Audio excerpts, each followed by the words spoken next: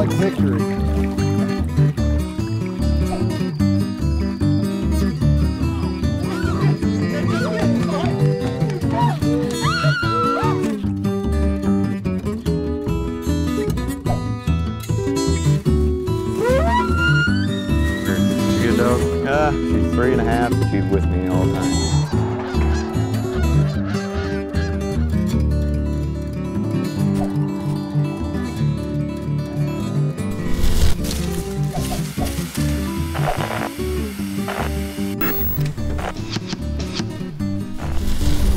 Hello and welcome to Kentucky Afield. I'm Tim Farmer. Tonight we have a special half hour show all about raptors in Kentucky. What's a raptor? We're going to find out in just a minute. To my left, Kate Slankard, avian biologist. Thanks for being here. To her left, Jeff Roberts, conservation educator and multimillionaire, right? That's right. That's exactly right. She's a millionaire too, but that's a long story. You know what? Tonight we have so many questions uh, about raptors. People see them all the time. They see probably more than they used to, which is a good thing. And we actually have some in hand in the house tonight. So we're going to actually see some, but we're going to answer a bunch of questions off of Facebook about raptors. First of all, I'm going to ask you, how did you get involved in the bird world? What, what drew you to that? Well, it was something that just always fascinated me as a kid. I was always um, looking at birds in my backyard and was, uh, I guess, maybe a teenager when I figured out this was something you could do for a living. And as soon as I learned that, that was it for me. You know, that was what I was going to do. and I, yep. oh, yeah, exactly. And I have seen you at the Salato Center with birds in hand. What drew you to nature in general? The same. Uh, I had the fortune of being introduced to the great outdoors and Kentucky's wildlife from a young age, and uh, fondly remember birding trips with my uh, papaw, and uh, you know, just fell in love with it from an early age, and, and very similar. Once I realized that this is something that I could do as a career, uh, you know, the rest was history. You know, I remember uh, going out with my parents and grandparents. My, my grandfather had the old names. He'd see a he'd see a bird and he said, "There's a bee martin." Remember those names? Is it actually a bee martin? Well, Kate would probably be able to tell you better than I would. You know what I'm talking about? I, I think they may eat more other insects more than bees. Are you talking about purple martins, I assume? Or? He, it was it had black and white on. it. He called it a bee martin. Yeah. All right, back to the Raptors. We'll talk about that later. All right, uh, let's take a quick question here from Eugene Beasley. Now, they got on the Kentucky Afield Facebook page and asked these questions. And there's a lot of raptors in Kentucky, but this is kind of a general uh, question. How long do raptors live? Well, it depends on the species. Um, we have a wide variety of raptors in Kentucky, and we're going to talk about a lot of them today. But um, we have species that are relatively short lived, like the barn owl, that's lucky to live 10 years or so, which is short for a raptor.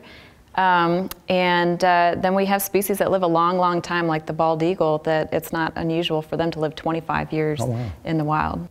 All right, I guess we should back up a little bit. We assume everybody knows what a raptor is, but in case they don't, what is a raptor? Well, raptor comes from the Latin root word that means to seize and carry away.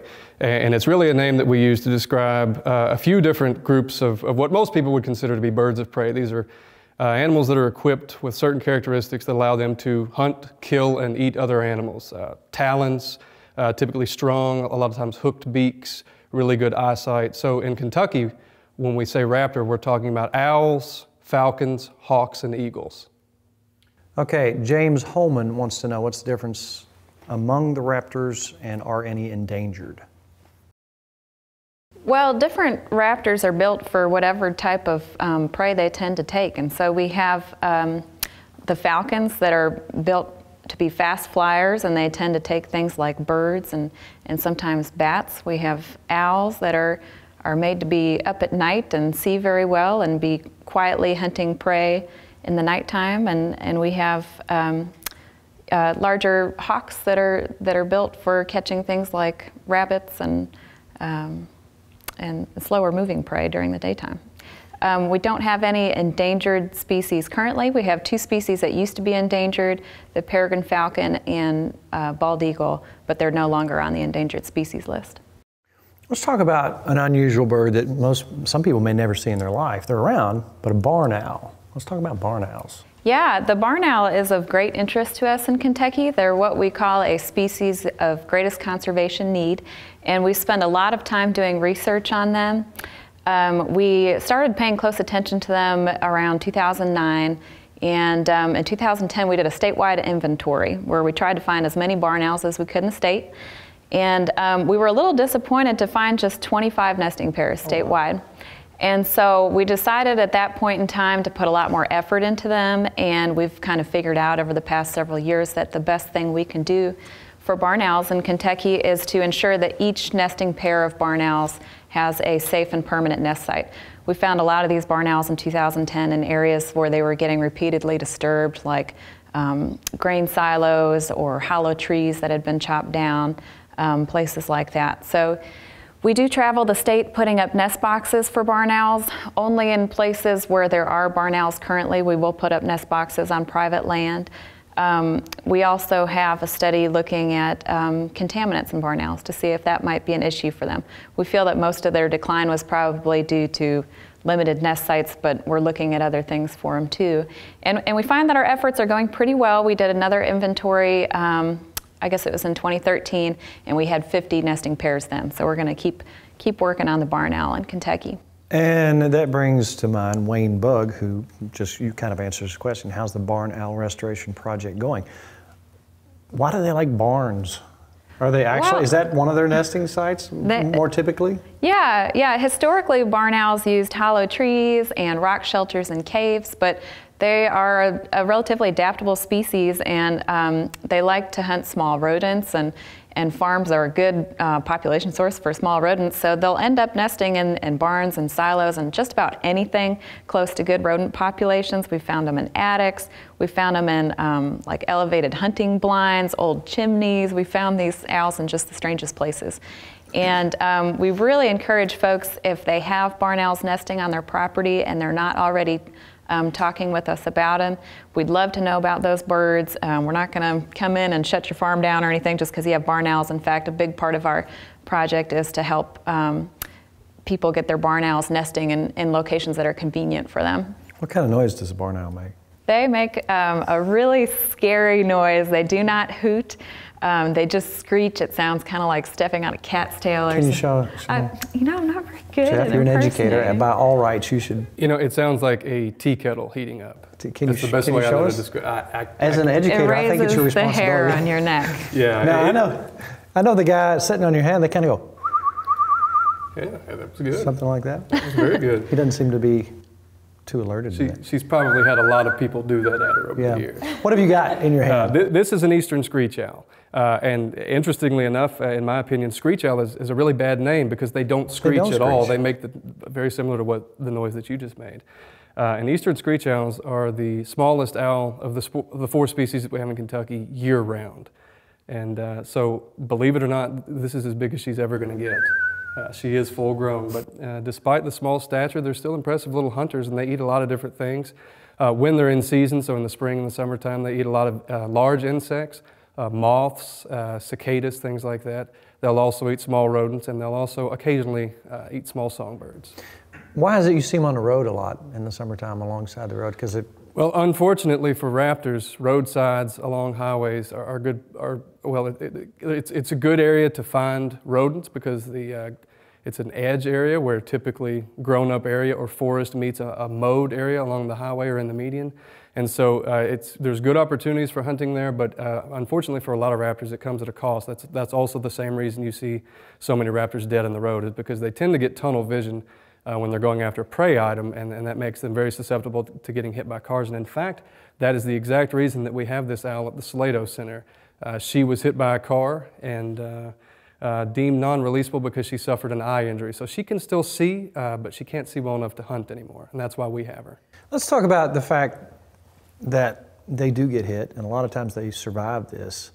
There are laws against taking these birds to your house, or and, and real quickly tell us what those are. Exactly. In the, in the state of Kentucky, in order to take care of an, an injured or an orphaned uh, wildlife animal, you need to be licensed through the state. Uh, now, on our website, we list an entire list, and you can even search by county, of licensed wildlife rehabilitators that you can take any injured wildlife or orphan wildlife to. So I would always recommend that if you see a raptor that, that appears to be injured, whether it's near the road or even in your yard, it, there's clearly something wrong with it, uh, you can look on our website or, or give the 1 800 number a call and we can put you in touch with a licensed wildlife rehabilitator. Okay, we've seen the smallest owl, and we know what kind of noise it makes, thanks to me, because you won't tell us the. I'm sorry. Let, us move up the next notch. What's a what's a little bigger owl? Well, we do have a couple of, I guess, what we'd call medium-sized owls in the state. We have um, the barred owl, which would be the more common species, occurs statewide, and it's the one. Here, I'll go ahead and give it a try. That says Ah. out in the woods. Who cooks for you? That's all you're gonna do? Yep, that's all I got. Yep. So this is what you hear out in the middle of the woods. A very um, boisterous, you know, hooting owl, uh, one of our more common birds. And then we also have a more rare owl that people don't often think about. It's the short-eared owl. And um, it's about the same size as a barred owl, but it likes grasslands, and it only shows up in the wintertime. It nests in Canada. You know, um, owls are interesting critters. You know, I made that noise right there, but during the spring when and when they're getting together, they, they really have variations on that. They get really raucous and Yeah. start making all kinds of crazy noises. Those barred which owls I'm are sure neat. Jeff is going to tell us what that sounds like when he gets back on the set with with This is a great horned owl. Wow. And this is actually Kentucky's largest species of owls out, out of the four that we have here year round. Uh, they're called a horned owl for pretty obvious reasons. Those, those feather tufts on top of the head sort of resemble horns, and they're called the great horned owl because, again, of the size. And, and again, this is the largest of the species that we have here in Kentucky. Now, I understand that their diet includes skunks. It does, yeah. Great horned owls are, are what we consider apex predators, which means they're at the very top of the food chain. They don't have many natural predators to worry about themselves, and they are very impressive predators. They also eat smaller things. They'll eat rodents, uh, mice, rats, squirrels, chipmunks, but then they'll also take larger prey items. And they are one of the only predators that we know of that will routinely kill and eat skunks. Are their olfactories not? That's exactly right. So most people squirm when you think of, of killing a- and eating a skunk because we know that when skunks feel threatened, they'll spray and it smells awful. But this is a great illustration of the, of the fact that except for vultures, birds have a really, really bad sense of smell. So if he were out in the wild and, and he caught a skunk and it sprayed, he really wouldn't care the way that you and I would care because he really couldn't smell the spray anyway. It's a good thing turkeys can't smell. You'd never you'd never take one. That's right. You know, uh, what uh, what kind of noise do they make? They're, they're a, a traditional hoot owl, and uh, if you've ever been watching a, a movie or TV and you just you just hear an owl kind of hooting, uh, not saying "Who cooks for you? Who cooks for you all?" It's probably a great horned You owl. show us Uh. I- I'll do my best. Something like that. See? That was good. That's what I'm talking about. That I don't know that he was See, impressed, but I think he now might have been. He went, "Ah." a fellow owl. That uh, you know, people would say, okay, that's pretty cool. You know, we're seeing this on TV. If if they want to actually see this in action, if they wanted, where would they come to see something like this? well, great horned owls are, are very very common out in the wild anyway. They're probably I'm saying one of- this particular owl. Oh, and- this and particular yeah. owl, yeah, uh, you, you would need to come to the Salato Wildlife Education Center. Every live bird that we're using today are birds that we have that are uh, all non-releasable due to various injuries. And if you, if you want to get a, an up-close look at these birds, you'll have to pay us a visit uh, when we're open for the season. What is the season roughly for? Uh, we're open March through the day before Thanksgiving. We re- reopen in, uh, always at the beginning of March. Gotcha. Uh, another question here. Linda S. Morrison wants to know what has become of the peregrine falcons that nest on the Ironton Russell Bridge in Russell, Kentucky? That's a very specific question. It is specific. Um, well, the, the peregrine falcons on the Russell, Russell Ironton Bridge are doing okay. As I hear, uh, they've been nesting year after year there for over 10 years. But I guess we should talk a little bit about peregrine falcons in, in general, um, since we, we brought that up. Um, Peregrine falcons are one of our species that used to be endangered in Kentucky, and they're still quite rare. They're no longer on the endangered species list, but we still monitor them closely. And um, we've got 13 nesting pairs statewide. Um, most of them occur on the Ohio River between Ironton and um, Louisville. We have quite a few nesting pairs in Louisville. And then we've got one pair um, in Frankfort here, downtown. Wow. Yeah. Now, traditionally, they lived on cliff lines and things like that. They but, did, But they yeah. find city living Why do they like the city? Well, um, peregrine falcons take avian prey. They, they eat mostly birds, and so um, city pigeons and starlings are a really good prey source for them. And um, although we're hoping to find more peregrine falcons in Kentucky on natural cliffs soon, our uh, urban areas are really outcompeting those natural areas just due to the, the prey densities. It's easier living there. And so they used to nest on cliffs, but nowadays they'll nest on high buildings, bridges, um, any sort of high structure that's close to a river. Over the years, Kentucky Afield has covered a lot of the work that the department has done on the peregrine falcon, which includes banding. And, you know, you, you actually put cameras in and watch these critters do their everyday stuff. Let's talk about that. Yeah, well, we do ban peregrine falcons and several of our other rare um, uh, raptors, and, and that's basically a way to identify the indivi- individuals so that we can monitor their uh, survival and productivity. So when we um, ban peregrine falcons, we, we ban them with these uh, unique, they call them alphanumeric color bands. And so that's so we can look through a spotting scope and identify the individual years later. Um, we also occasionally band uh, things like bald eagles, and you can see how much larger yeah. this band is. Now, what is this? Is this aluminum or?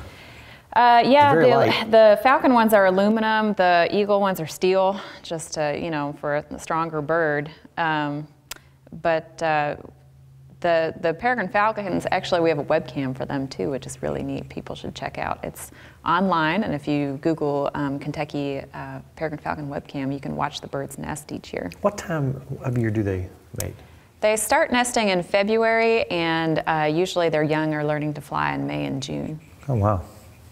All right, what is a kestrel? A kestrel is a small falcon, um, a bit more common than the peregrine falcon. Uh, they, they spend a lot of time in our grassland and agricultural areas in Kentucky.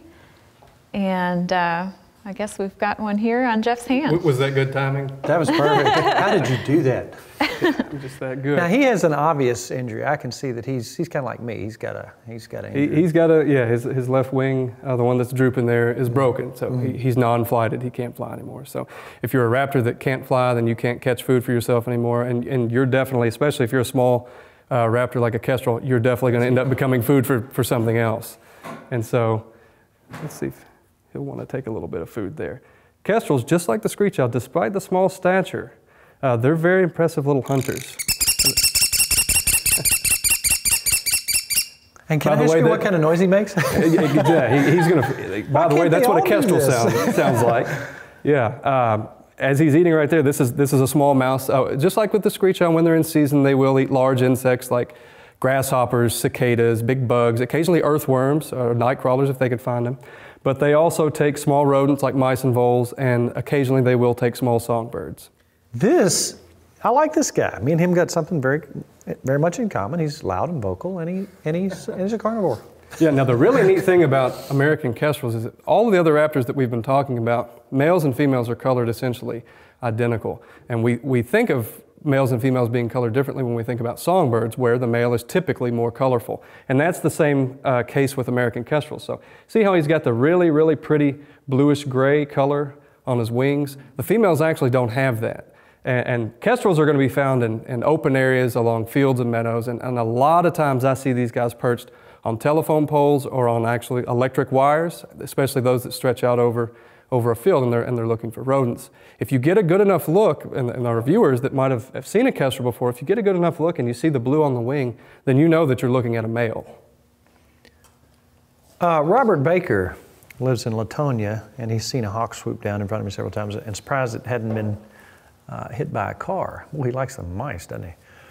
It's not, it's not as big as a red-tailed hawk, but how big is the Cooper's hawk, and what is their diet? Well, a Cooper's hawk is in between the kestrel and the red-tailed hawk, and um, probably about the, the size of a crow. And Cooper's hawks eat a lot of birds, but will also take some rodents. And You see them a lot of times visit your bird feeder. yeah, yeah, it is oftentimes the hawk that shows up at the bird feeder. They're a fast-flying hawk.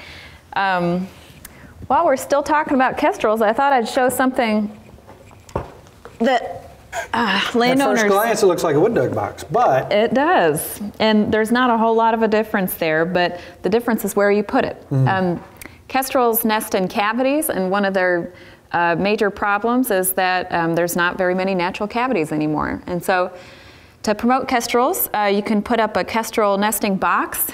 Um, this is best put in an area that's out in the country, away from um, places with a lot of house sparrows and starlings, perhaps up on a nice old tobacco barn How out in the middle of a hayfield. And you need to put it up high for a kestrel, at least 15 feet high. The higher the better. Falcons like to be up, up high. Um, the nest box plans to build this are on our website. And um, I think if you Google Kentucky Kestrel Nest Box plan, it's the first thing that comes up. But it's just a simple box, a really big bluebird style box. It's got a door in the top so that you can clean it out every once in a while. And um, this is the same style box that if you hang it down a little bit lower, maybe on a, a wood's edge, you might find a um, eastern screech owl using too. So can be a good way to help out your raptors. But you do need to, to keep an eye on these boxes when you put them up to make sure European starlings aren't taking them over because sometimes they can be, be a pest for nest boxes. Misty Witch lives near Brandenburg, Kentucky. There's a walking path there called the Buttermilk Falls. And there was a set of osprey there a few years ago. Uh, she doesn't see them anymore. Do they move from site to site or do they? They usually stay in the same spot. It could be that the pair, you know, maybe one of them passed away, something happened, and the pair isn't there anymore. But osprey usually nest in the same site year after year. Okay, now let's bump it up a notch and let's talk about eagles. Now, when I was a kid, occasionally my dad had an eagle eye.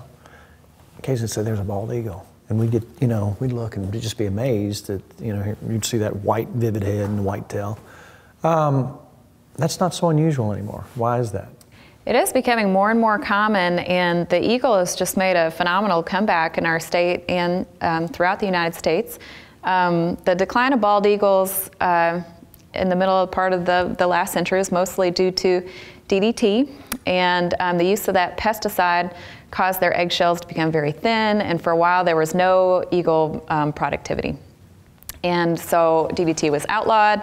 Uh, the eagles were uh, reintroduced and also um, allowed to just naturally repopulate. And, and now they're doing great. And actually, in Kentucky, we have over 130 nesting pairs statewide.